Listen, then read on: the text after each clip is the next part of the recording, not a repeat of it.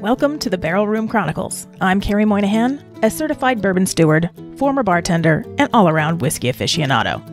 I travel the world to explore whiskey from every avenue. For the last 20 years, I've been helping others tell their stories through television, film, and other media. But now I'm taking my love for whiskey and my experience in the entertainment industry to uncover the fascinating stories of the water of life. So kick off your shoes, pour yourself a dram, and join me for this episode of Barrel Room Chronicles.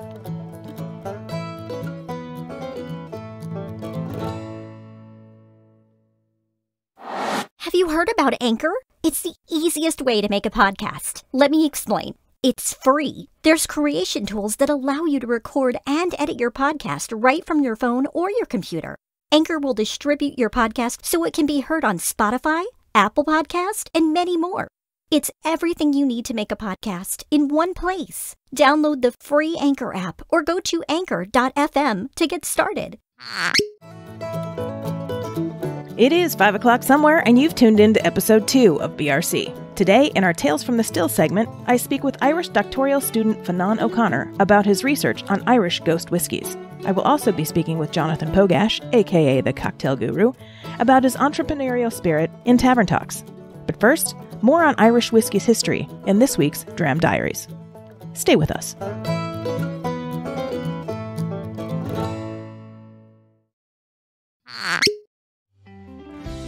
In our last episode, we learned how Irish whiskey went from the most popular spirit in the world at the start of the 20th century to practically extinct in just a matter of decades. What we didn't cover was how or with what the whiskey was made. Traditional Irish whiskies were made in copper pot stills rather than column stills, which didn't even come into use for distillation until the early 1800s. The Irish style whiskey, formerly known as pure pot still, emerged as a means of avoiding a tax introduced on malted barley in 1785. Single pot still, as it's known today, refers to a mixed mash of malted and unmalted barley distilled in a copper pot still. With the resurgence of Irish whiskey, the use of copper pot stills and the pure pot still style of whiskey has been making a tremendous comeback.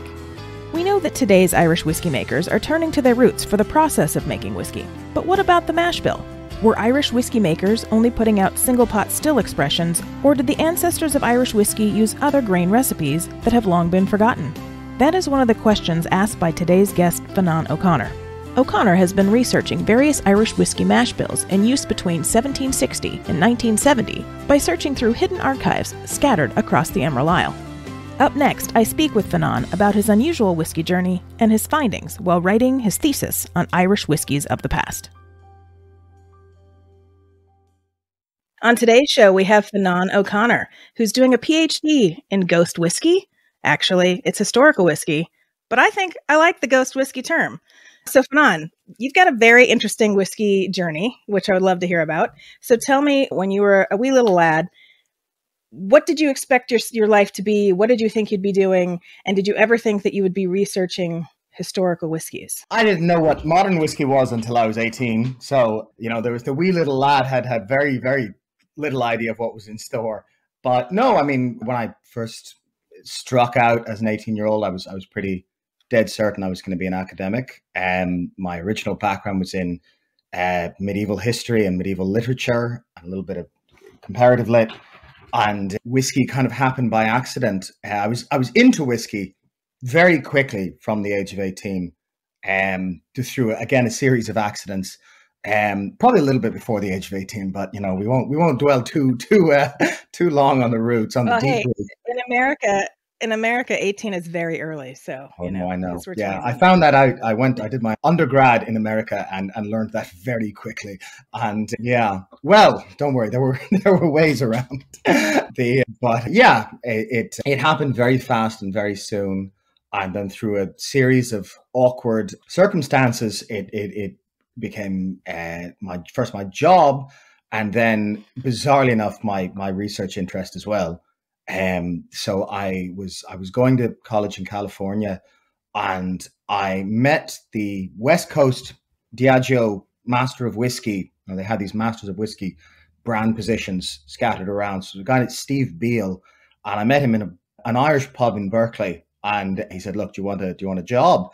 Um, and I think I had the right name and the right accent. Um, well, actually the wrong accent, but uh, wrong part of Ireland. But they owned Bushmills at the, at the time. And anyway, I started working there. And you know, once I was part of the kind of Diageo fold, I was allowed to drink a lot of stuff that I couldn't afford as a student. Um, I started going to whiskey fairs on on behalf of. So I would do Bushmills and then assist Steve as a kind of a lackey, setting up the the classic malts lineup, you know, Talisker, etc., while he kind of worked the room.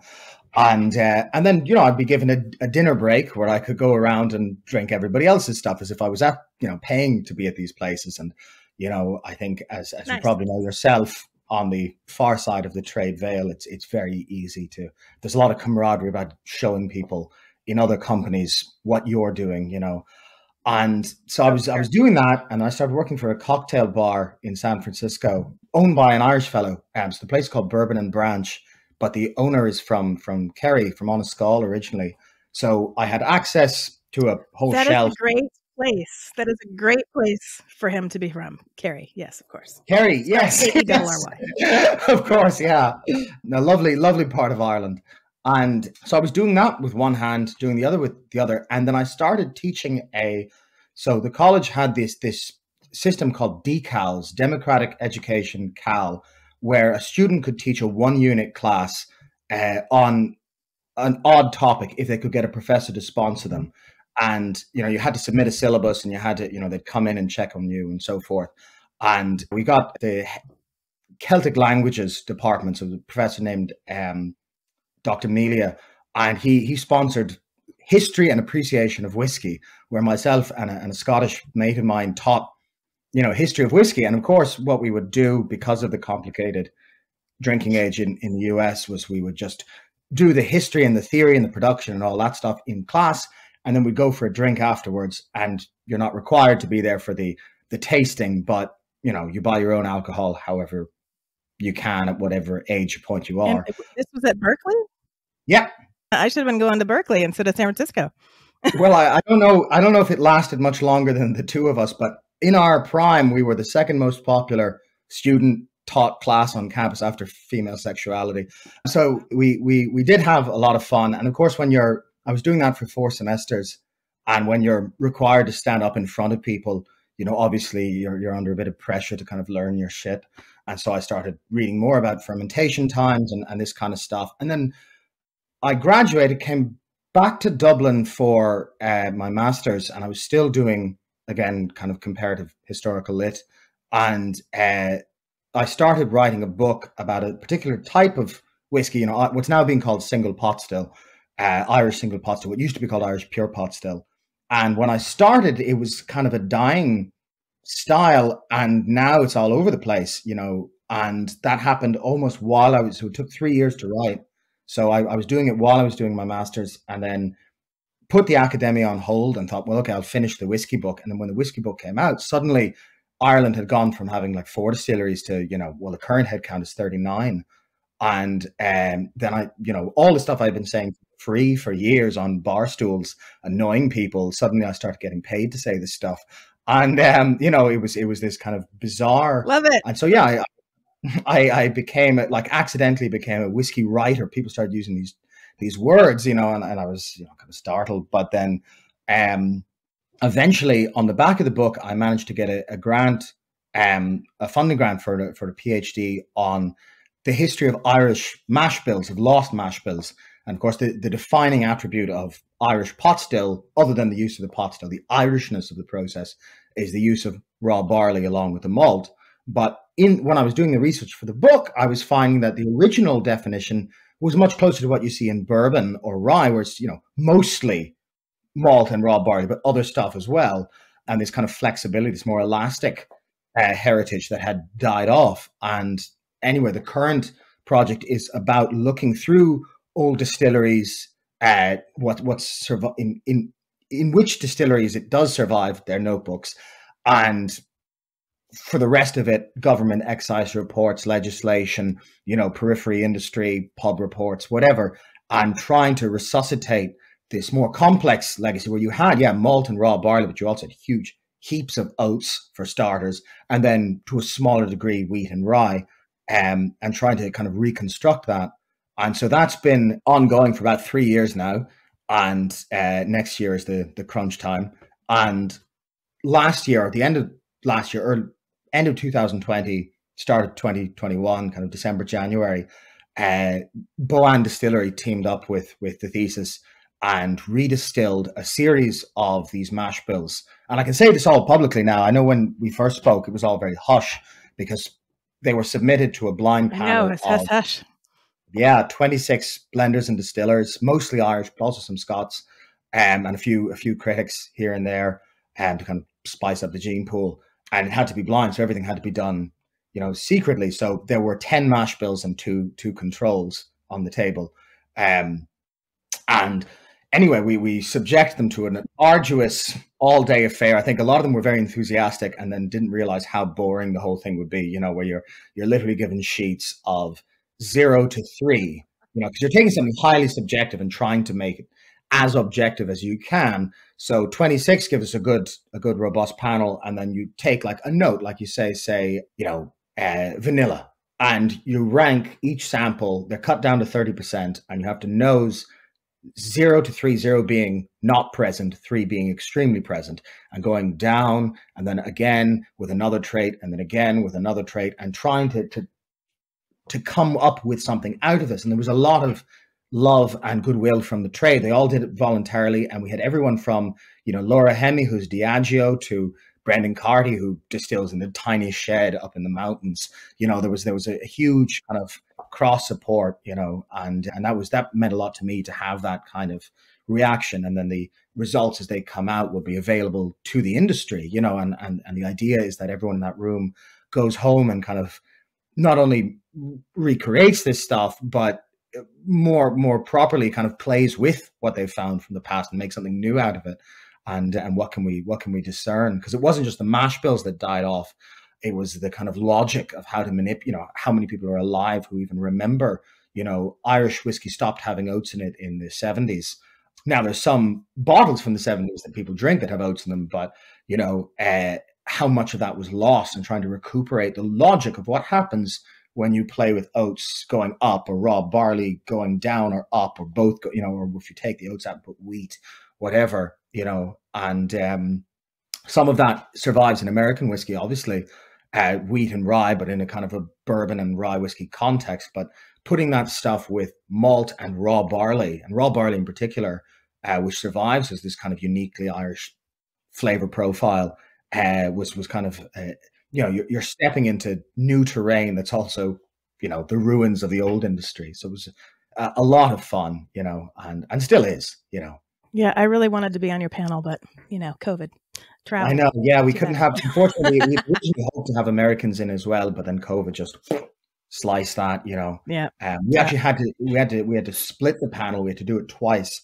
Once in Belfast and once in Dublin, um, because at the real height of COVID, um, it was hard to get. There was a you a couldn't cross the border from the, UK, from the UK into Ireland. Yeah, so people could go to Belfast uh, from the UK and it's it's a it's a very odd situation Northern Ireland has. But essentially, you could cross the border north south yep. no problem. But if you were flying from Britain, you had to quarantine. But if you're flying from Britain to Belfast, you're still in the UK, so you don't have. So there was this perfect little spot in Belfast where we could get everyone. And then those who couldn't make Belfast, we did it. We repeated it in in Dublin. Okay. But and how many yeah, days apart? It, how many days apart were those? Not that long, like a week or two you know, and we didn't tell the Belfast crew what was what was in them. For that reason, I, I, I was heartbroken. We couldn't tell them uh, what was what was in the glasses because we had to keep it silent for for the the next crowd down the line. So, did you tell them after the Dublin crew came in, and, or they yeah. still don't know? Everybody, every it's public right. knowledge now. Yeah, everybody, everybody knows what's in them. Well, everyone who who wants to know. Right.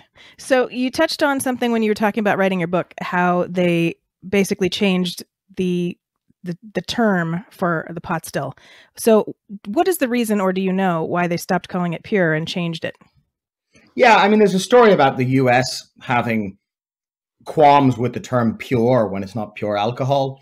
Um, but also, it seemed very convenient. You know, single pot still sounds like single malt, and I, I, have a suspicion. I mean, you know, single malt is an invented term from from the '60s. You know, before then, you never hear anything called it's called pure malt or Highland whiskey or Highland style or unblended whiskey or self whiskey is a very popular one. And essentially, William Grants for Glenfiddich came up with single malt. And then in the 70s, other distilleries started imitating. And then by the 80s, single malt became the, the, the root of the phenomenon that is now. Now, the, the whiskey, single malt as a liquid concept has been around for, for centuries, but you know, the term single malt is quite new. And it created a space in which the unblended pure malt of a single distillery could could thrive. And I think the hope with single pot still, and it, it's such an odd one because historically the name Irish pot still is very entrenched. And you know, when you look, there are single malts in Ireland, and there's a lot of them now. But when you look historically, they were really mostly just in in Ulster, in the north of Ireland, um, the part closest to Scotland, Bushmills, Coleraine, these places. Um, and the you know when when Alfred Barnard made his infamous tour of the Britain and Ireland of distilleries, you know there were 28 distilleries in Ireland. Two of them made single malt, a few column stills, and then the rest was all Irish pot still. And the you know again it was in contrast to Scottish pot still in people's minds, and so the idea was that the Irish were running mixed mashes right. through these through these pots. And again, mixed mashes around the principle of malt, raw barley, oats, wheat, and rye. What do you think the reason is that they stopped using oats? Because I think that would be a very interesting flavor profile to keep. Homogenization. The industry fell apart. You know, it went from having 28 distilleries to having two. And, you know, a lot of these distilleries took their mash bills to the grave, you know, and you, you end up with you know, by the by the 1950s, there's really two mash bills on the go, other than if you unless you count single malt as a mash bill. Um, but two mash bills on the go coming out of pots, and then it becomes one, and then that mash bill gets simpler and simpler, and then it it, it kind of homogenizes to 60% raw barley, 40% malt, which is what what Midleton make, you know, and uh, I don't mean to, you know, that that mash bill was one of the controls, and it did just fine. You know, it was extremely fruity in comparison to the adjuncted ones, you know, which tend to be more cereally tasting. So it's, not just, you know, the easiest access point. Is there's more to it than that, but certainly what caused mash bills to homogenize is, is very closely tied in the 20th century to a collapse and b corporate homogenization. You know, and and and that is that is quite trackable but again, you look back, like the old mash bill for for Jameson uh, would have been back when Jameson was a pot still whiskey, would have been about you know thirty to forty percent malt, um, about forty percent raw barley, about fifteen to twenty percent oats, about five percent wheat, and about one percent rye. Very very different drink to what right. you know we would think of now. Um, and of course, the current one is is a blend, but even the pot still component of that is is nothing like these older whiskeys. So that was part of the attraction. Where for the book, I was drinking samples of stuff from the fifties and sixties, and it was it was there, and I'd had stuff from you know said like you know 1910 for for the for some of the dead distilleries that died early on, like uh, Persse's out in Galway, and they were I was I was aware that they were different drinks, and I was aware that they had oats in them, and that there was some talk of wheat and rye, but I just didn't know what. You know, these were spoken of in almost hushed terms. If you, if you if you have you know old Midleton distillery, it's got oats in it. Nobody nobody knew. You know, and um and trying to to make that available and trying to look at that sincerely. I mean, so what I'm drinking now, this is a decanted because the cork was fucked. Um, the bottle of of Locke's Distillery, which closed in 1955, um, or around. Oh wow, 55. Um, and this would have been about 40% malt, 40% barley, raw barley, uh, and 15% oats, about 5% wheat. And so, you know, you, would be knocking this stuff around, and they have these strange, it smells like contemporary Irish pot still, it smells like redbreast, but it doesn't at the same time. You know, it smells, it has this kind of linseed oily thing going on. It's very herbaceous. It's it's it's strange stuff, you know. And so, where did you find this bottle? These and came how, up. How many um, years old is it? It's it's just a classic seven year old, but from that from that time, uh, somebody in Ireland found a, a, basically a crate of them, and uh, sold them off and uh, a mate of mine bought two and then told me oh this happened last week and i bought one because i thought you'd buy it and uh, and then i owed him money you know as as as as it happens um but they went they did we went for pennies in comparison to what they'd probably get at auction um And um, wow. The but again, they they do, and you get this stuff still poured. There's a lot, you know, and it's, it's funny. That was something that that fed the book, which was that the perception of Irish whiskey abroad, and a, a big part of the marketing of Irish whiskey was oddly out of step with a lot of the people I knew and a lot the, in Ireland and why they drank whiskey. And you know, I think Irish whiskey, especially in America, has presented itself as a kind of a smoother alternative to Scotch. You know, you hear terms like light, accessible, friendly, whatever. And then when you talk to the like retirees that go to whiskey societies in Ireland, all they want to talk about is oil. You know, oil and viscosity and density and ginger. And these are the buzzwords, you know, yeah. and they talk about how heavy a whiskey is. And raw barley is very, very oily. And then when they mourn about the old ones, where they're even thicker still.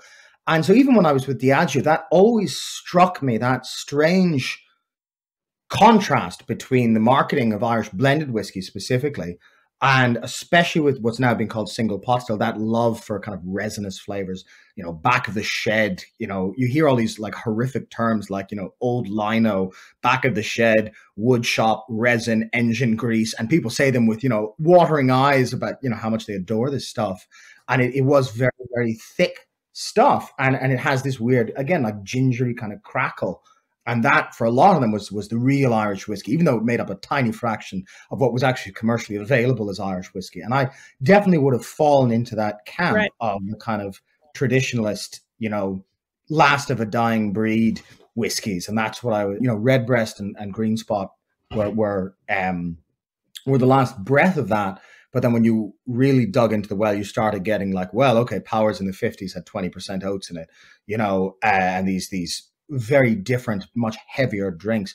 Even and again, you know, when they were direct fired, uh, they they tended to have a, a kind of a, a, more robust flavor as well.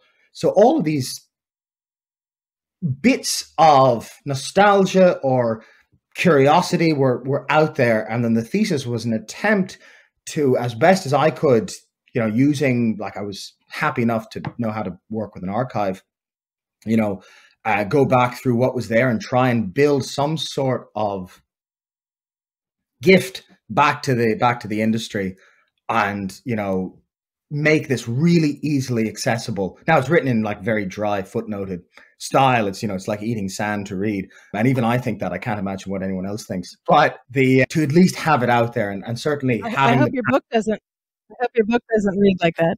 Yeah well the book unfortunately the book was reprinted in this just tiny you know King James Bible font um, that's really difficult to read. There's an older oh, edition oh, of a coffee table looking book, uh, and I mean on the internet you can find anything you want. So if you find a used copy of the 2015 one, it's it's bigger, but it's also far more legible. And the um, title again of the book is the book was called A Glass Apart. Um, and at that point, it was possible that came out in 2015. The original one, the, the, the mini one, came out in 2017. Um, but they're both they're both the same book, just different different size, and one is infinitely more legible. But when when that came out, it was possible to just write about all Irish pot still whiskey there was, every single cask, you know, whatever, and and then historical bottles from before. Now that's exploded. You have this huge array of distilleries, and it's going, it's growing faster and faster and faster. And then we're seeing now, you know, I think the the renaissance of Irish whiskey hasn't happened yet. It's going to happen within the next five years as all these distilleries start having, you know, five to 10 year old product, five to 12 year old product in some cases, you know, and, and seeing that evolve and seeing these new flavors come out. And I think mash bills are a very slow part of distilling because, you know, you, are going in at the root. It's not like finishing something. The hope is that this is, this is sowing seeds for the long, you know, the long renaissance, the long, uh, rebirth of, of, of not just the category as a business, but the kind of you know culinary soul of, of Irish whiskey, you know, and, and what it was and what it can be out of the out of the kind of plasma of of that inheritance. So that's the next step. Is not just recreating them, but like seeing what people do with the recreations. You know, what happens if you peat these mashes? What happens, whatever, if you double distill versus triple distill? You know, there's endless possibilities. But that's not my job. You know, my job is just to make the history there and and right. trim off the bullshit and you know um so on the tasting that you did did you have a distillery make all these mash bills for you and then that's what they were tasting yeah so it would have been boann distillery up in drogheda and they were they were enormously accommodating because for it to be scientifically valid, it had to be shared in all respects productionally except mash bill. So same flow rate, same fermentation time, same yeast, same cut points, same everything. We had to redistill separately so that the recycled faints weren't contaminating the next batch. You know, everything had to be clinically done to make sure that, you know, the differences weren't coming from distillation regimen or, you know, any, any other factor that we could control. The control, eh, as in the scientific control, was uh, 50-50 malt raw barley which is just you know, straight down the middle no adjuncts. And then the second control right. was 60-40 which is the commercially prevalent one. That's what say like redbreast is. And and then everything is is based on that framework. And they they were triple distilled you know because now if we were just looking at compounds we'd want to double distill because then we get even more of everything and it'd be more distinct. But even at triple distillation they were they were amazingly different to each other. It was startling and we had to keep it triple because A, those are the controls. And B, you know, if you're looking at, say, like the old Dublin distilleries, they would have been triple distilled in large bulbous pots, you know, the ancestors to to midleton So again, it, they had to we couldn't we couldn't muck about with with other stuff, you know, they had to be in one place. And Boann was perfect because they had a setup where they had large bulbous stills a la Midleton or Tullamore or any of the the kind of industry standards. And they were, you know, automated enough to be precise, but then creative enough and small enough to be willing to take time off and do this, you know. And Michael Walsh, the distiller, was was you know he's a good friend of mine, so saw eye to eye immediately, and and he very much fell in love with the project and what could be done. And we would we had a great time, you know, when they were coming off. We expected to be faced with all kinds of problems. You know, there was always talk about oats creating a paste or porridge or gumming up the works and and and all this stuff. And as long as we handled that beforehand and made sure it was constant. That handling you know like beta glucan stands even when we didn't need them you know everything was exactly the same. Uh, we were we were fine. So we spent a month you know we'd have these logs where i'd talk to them about what was happening during the day and they ended up just being kind of dramming sessions you know because nothing was going wrong. So we'd be having a merry time talking about what went right you know so it was a really it became a lot of fun you know were those uh, video sessions or just notes? No, just I, I had recording equipment, by which I mean my phone and audio recordings, keeping a log, and the log the, okay. the log was supposed to be recording the um, the technical tribulations that they'd face, and and they didn't really happen. I remember the anxiety. There was one match that was thirty percent oats. That was the highest oat content, and there was there was a lot of worry. You know, the wow. engineering firm that outfitted them, you know, came out point blank saying like the warranty is null and void for this. You know, we're not taking any responsibility. that was a great, you know, I was thinking, oh fuck, am I going to break the kit? You know, eh, but anyway, nothing went wrong. You know, and, and um, so the log is just me and Michael propped up saying like, comparing things, we, we must have compared everything. You know, what happens when you have 15% oats, 5% rye versus 15% oats versus 5% wheat versus 20% oats, you know, and, and changing variables. But yeah, an absolute joy. And they were, they were enormously accommodating, you know, because it's not easy, of course, for a distillery to, to take that risk. And then I, I also asked that they would sell the cask off um, to private, you know, punters, pubs, societies, people. Um, because when we're yeah. inviting all these other distillers in, I wanted to make it clear that Boann weren't building a brand around this, that it is they'll obviously get all the credit they deserve for for having made it, but it, has gone back into the bloodstream in a very public way, um, and and then the information so is made is, available to trade. What is the ultimate goal of the thesis? Like when you're all done with it and it's published and it's ready to go, are you going to try to pass it out to various distillers and say, "Hey, make these"? The ultimate goal of the thesis is to turn me into Doctor Me. Everything else is, you know, periphery. pure vanity is what's it's what's motivating the thesis. But when when that's aside, yeah, the hope is is to get it out there, is to is to help reorient the imagination of Irish whiskey away from even what's in the thesis, away from the past, or has often happened, the false past, and to at least make it clear what was in the past, but then to encourage people to manipulate that to, you know, not just replicate the past, but take the past as culinary heritage and and muck about with it, reinterpret it, respin it, you know, do what they want with it. So the hope is that this is just the the the the genesis. You know, I don't want Irish whiskey to be what Irish whiskey was in 1915, but let alone what it was in 1815. But to be aware of that in a sincere sense and to treat it seriously as culinary culture, as liquid inheritance, as something more than the easy branding that Irish whiskey and Irish anything can fall into. You know, Ireland has a right. term here, paddywhackery. And paddywhackery is like us prostituting the country with leprechaun shite. And it, it, you know, makes a lot of Irish people cringe. But you see it in, in a lot of like, export oriented stuff. And to kind of move it away from that into this more sincere food and drinks heritage, uh, distillers heritage. And of course, you, you know, I don't, I'm not naive. You know, a lot of these are controlled by huge multinationals, and you know, there's a lot more forces at play. And it is an industry first and foremost. It is not a restaurant. You know, there's a lot more there. But in any sense, as available to anyone across the craft to to large distilling operations, I have had sincere talks with with loads of them about what they'd like to do, and we, you know, even after um, the panels, we, you know, all went to the pub and had the chats, as it were. And there was a lot of questions, especially after the second panel, where we could be a bit more open mouthed about what was going on, what people wanted to do with any of this. And and when college comes back on stream, the lab group over in in so the the there's a, a paper within the thing. So the, the the chemical analysis is happening over at Heriot-Watt in in Edinburgh, and uh, they'll be coming back. They've already started sending me little strains of grass and this and that, uh, and then we'll we'll able to see. You know, is there a compound in oats that makes it taste more linseedy? You know, whatever. You know, uh, how do we how do we extrapolate from from the sensory using using the chemical? And that's way out of my hands because that's not my field at all. So that's I'm, not I'm your right. Incredibly lucky to have them involved and, and interested. Do you think this this thesis experience will bring out another book for the public that would be a little bit easier read than your thesis? Oh, absolutely. In fact, the, the, the, other book is already in the way or oh, on the way. And when the thesis is finished, it'll the, the energy will definitely transfer over to the other one.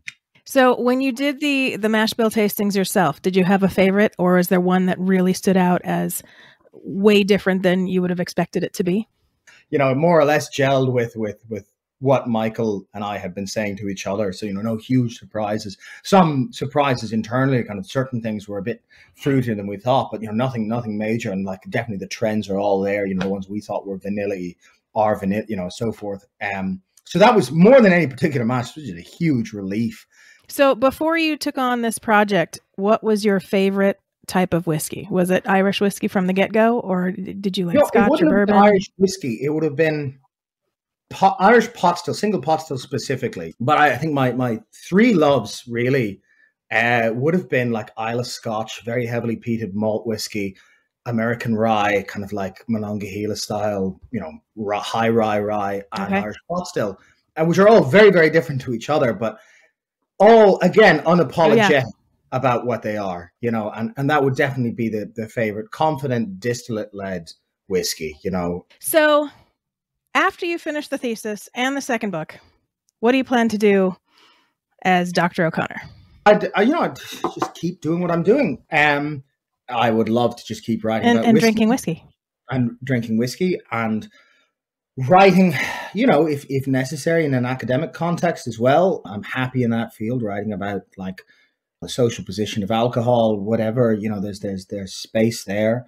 Well, soon to be Dr. O'Connor, I want to thank you so much for being on the show today and imparting all your knowledge. And I hope that you keep us uh, up to date on when your thesis is finished and when it is published and when your new book comes out, because we would love to support that, put it up on the website, and be able to follow your research because I find it fascinating. And when I saw the article in the magazine about a ghost whiskey PhD, I said, Oh, I got to get this guy because this is fascinating.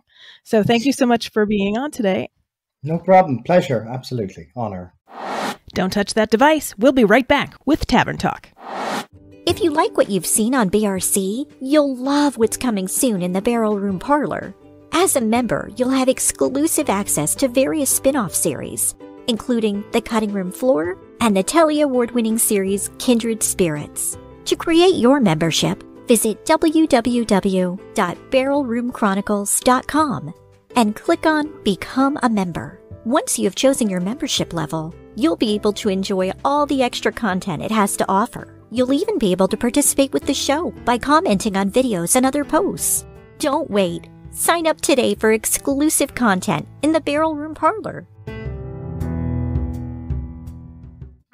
Hey, Jonathan, nice to have you here on the Barrel Room Chronicles. How are you today? Hey, this is very exciting. Uh, I'm doing well, Carrie. Thank you so much for having me. Good, good, good. Well, we are here at the Tavern Talk section of our show, and I wanted to talk to you about the Cocktail Guru, this business that you have started. I know that I know pretty much about it uh, based on your podcast, the po- Cocktail Guru podcast that you host with your father Jeffrey, which is fantastic. For, so those that listen, thanks, for the, pl- thanks for the plug. Yes, who haven't listened, they, they should. But yes, for those of you who have not listened to the Co- Cocktail Guru podcast, it's quite fun. It's got a lot of celebrity beverage and chef type folks, so you should totally check that out. But when you're not doing your podcast, the Cocktail Guru is a company you started. Now tell me all about it because I know you started off as an actor and then started doing yeah. bartending uh, during that time, but now you've got like this enterprise. So tell me about that. Yeah, I could try to tell you all about it. I don't know how much time we have, but um, just the in a nutshell, yes, I moved to New York City to become an actor, and of course, I started bartending on the side to actually make money. Um, and it was kind of from that that I started falling in love with hospitality and the industry and mixing cocktails. Of course, acting was kind of the first the, the first love, but soon cocktails and and spreading the word took over, and I created this little side hustle while while I was bartending full time called the Cocktail Guru in 2006, uh, and then it uh, it grew and grew until well one day you know my my then fiance now wife Megan we decided to move in together, and it was at that point that we decided that I should scale back on bartending and coming home at five in the morning and try to pursue this consulting career uh, and hospitality full time. And I did, and I took the plunge and I gained some amazing clients in New York City, some really great hospitality um, organizations, restaurants, and bars hired me to started hiring me to create their cocktail menus and train their staff. And I was doing all these events for brands. I was doing TV segments. I started doing cocktail TV segments from morning television, like the Today Show.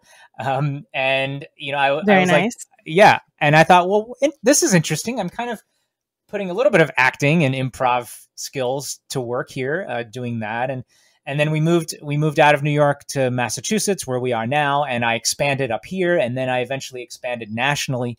And I now I have a team of cocktail gurus across the country that do various jobs. They they do. A, we have a pretty big corporate team building mixology class business, uh, which we pivoted and did virtually, um, and have been doing virtually for almost two years. I guess, yeah, nice. almost two yeah, years. Well, yeah, yeah. almost two years now, and, and, we have we do those in person now again. Um, and then we help bars and restaurants open up and do all kinds of events, fun events, trade events, uh, consumer events, uh, you name it. So yeah, that's it in a nutshell. That's awesome. Um, so if somebody wanted to hire you, where would they go? What would they do? Well, they could uh, they could go right to the website, thecocktailguru.com. Uh, we have all the information you need, our background, bios, what we do, how to get in touch with us, um, and you know we would we would take it from there. Fantastic. Um, so, what kind of? I mean, how many altogether now that you're national? About how many gurus do you think you have out there? We have about 10 or so that that we keep working pretty steadily they're all full-time bartenders as well or bar managers or bar owners so actually one thing during the pandemic when everything stopped we were able to keep these bartenders working uh, which was kind of a big deal and, and i'm very thankful for that um, but we also you know not only do we have these 10 cocktail gurus across the country that are steady steady workers for us we also have um, dozens of others that we've worked with in the past where it enables us to do events pretty much anywhere across the country. Like, for example, a couple weeks ago, we did a holiday party in Oklahoma City. Um, nice. And we, we just did a team building event, team building holiday party in Chicago and Beverly Hills this past week. And it, it's literally all over. So if anyone has anything anywhere, we can get someone who is who has been trained by me uh, and my team to to you know provide a, a worthwhile experience. That's fantastic. Um, so, did you find this job fulfilling for you? Uh, now that you've pivoted away from from acting, is this is this? Do you feel good about this choice? Yeah. Thanks, Carrie. I, I do feel I, I do feel good. I'm kind of in it right now. Um, if I didn't feel good, I would definitely be in trouble. Um, but I do feel good, and what I like is that it is ever changing. Not only because of um, a, a 20 month pandemic, but also the industry itself just is is morphing into different aspects. You know, right now it's like um, no alcohol, canned cocktails, um, some very small markets in in the Midwest and in the West that that are wanting to get in, get into craft cocktails, and and we're always we've always been trying to to figure out what's next, and and I've been I've definitely been a hustler, you know, and and I'm I'm of the mentality that it's it's never things are never good enough. You know not in a bad way but in, right. in a in a way like i'm looking towards what i can do next but but yeah you know i'm always i'm always seeing seeing what's happening next and trying to figure things out. That's awesome. Well congratulations on the company. I think it's a fantastic um, enterprise and i'm so glad that i get to work with you on a daily basis on your podcast and um, i'm glad you were able to come and be on my podcast. Thank you again and congratulations on your podcast. For show notes on today's episode, please visit www.barrelroomchronicles.com. If you like what you heard, please rate and subscribe to the podcast. If you really liked it and you want to show your support, buy us a whiskey through our Ko-fi site. If you work in the whiskey industry, or run a whiskey bar or club, and you'd like to be featured on Barrel Room Chronicles, register to be a guest through our website. Thanks for joining me. Until next time, Sláinte Barrel Room Chronicles is a production of First Real Entertainment and is distributed by Anchor FM and is available on Spotify, Apple, Google, iHeartRadio, Amazon, and wherever fine podcasts are heard.